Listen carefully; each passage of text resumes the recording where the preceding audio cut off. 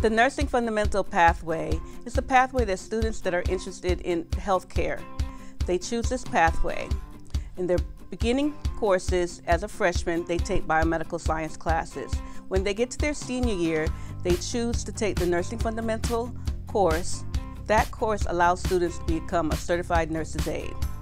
Going through that program, they practice in the lab and then they go out to the clinical sites. In the clinical sites, they visit nursing homes, assisted livings, and um, get that experience on hand of what they need to do and what they need to see as a nurse's aide, the expectations.